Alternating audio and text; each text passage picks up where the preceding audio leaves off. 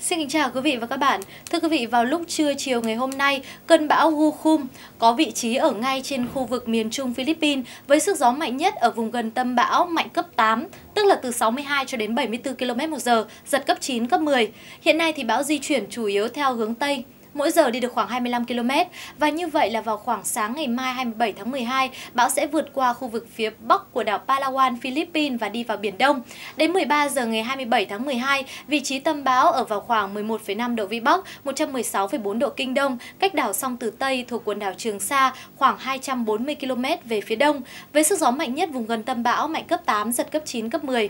Trong khoảng 24 đến 48 giờ tiếp theo, bão tiếp tục di chuyển theo hướng Tây, sau đó có khả năng đổi hướng di chuyển chuyển theo hướng giữa Tây và Tây Tây Nam, mỗi giờ đi được khoảng 20 km.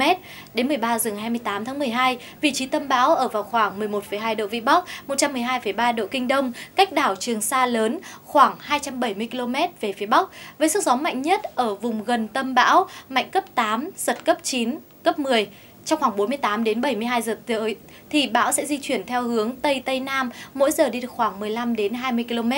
Do ảnh hưởng của hoàn lưu bão thì vùng biển phía đông, khu vực giữa Biển Đông, bao gồm cả vùng biển ở khu vực đông bắc của quần đảo Trường Sa sẽ có gió mạnh dần lên cấp 6, cấp 7. Vùng gần tâm bão đi qua cấp 8, cấp 9, giật cấp 10, cấp 11, biển động rất mạnh. Ngoài ra thì do ảnh hưởng của không khí lạnh, ở khu vực Vịnh Bắc Bộ, từ chiều mai gió đông bắc lại mạnh lên cấp 5, có lúc cấp 6, giật cấp 7, cấp 8, biển động. Vùng biển phía Bắc, khu vực Bắc Biển Đông tiếp tục có gió Đông Bắc mạnh cấp 6, giật cấp 7 biển động.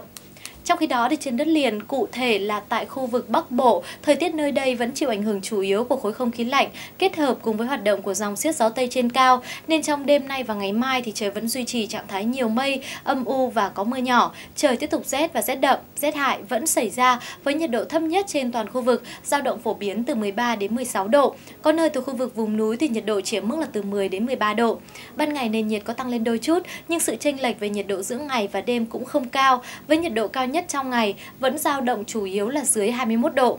Trái ngược một cách rõ ràng nhất với thời tiết tại Bắc Bộ chính là các tỉnh thành phía Nam. Trong đêm nay và ngày mai thì thời tiết vẫn chưa có sự biến động gì nhiều, trời hầu như là không có mưa và có nắng từ sáng đến chiều, khiến nền nhiệt luôn duy trì ở mức cao, với nền nhiệt cao nhất trên toàn khu vực phổ biến từ 29 đến 33 độ. Riêng tại khu vực Tây Nguyên thì thời tiết có mát mẻ hơn đôi chút, với nhiệt độ cao nhất vào ban trưa cũng không vượt quá 29 độ.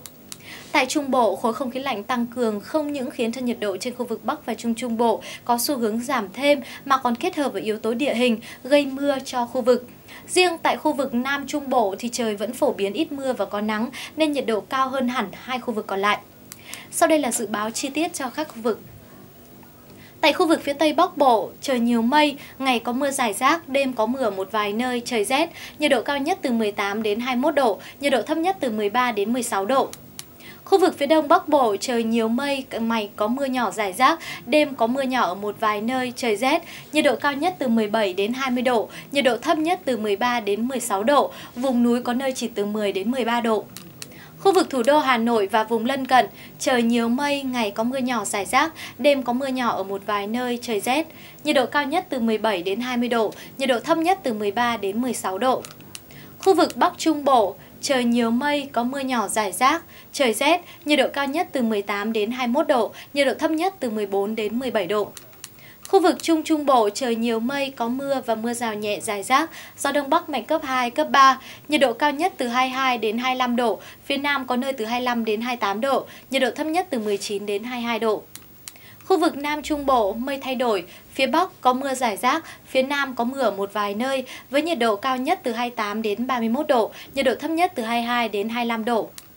Khu vực Tây Nguyên, mây thay đổi có mưa ở một vài nơi, ngày nắng, gió Đông Bắc mạnh cấp 2, cấp 3, nhiệt độ cao nhất từ 26 đến 29 độ, nhiệt độ thấp nhất từ 16 đến 19 độ. Khu vực Đông Nam Bộ, mây thay đổi, ngày nắng, đêm không mưa, nhiệt độ cao nhất từ 30 đến 33 độ, nhiệt độ thấp nhất từ 22 đến 25 độ. Khu vực Tây Nam Bộ, mây thay đổi, ngày nắng, chiều tối có mưa ở một vài nơi, nhiệt độ cao nhất từ 29 đến 32 độ, nhiệt độ thấp nhất từ 23 đến 26 độ. Phần cuối của bản tin là dự báo thời tiết cho khu vực Biển Đông. Tại quần đảo Hoàng Sa có mưa rào và rông ở một vài nơi, tầm nhìn xa trên 10 km, gió Đông Bắc mạnh cấp 6, giật trên cấp 6, biển động, nhiệt độ giao động từ 24 đến 29 độ. Tại quần đảo Trường Sa có mưa rào và rông ở một vài nơi, tầm nhìn xa trên 10 km, gió Đông Bắc mạnh cấp 5, phía Đông Bắc mạnh cấp 6, có lúc cấp 7, biển động, nhiệt độ phổ biến từ 25 đến 30 độ.